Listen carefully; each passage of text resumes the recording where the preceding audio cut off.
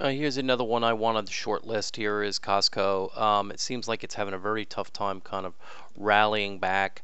Uh, it had a very, very nice impulse, and what happened is you see the failed swing here, uh, and then distribution and correction ever since.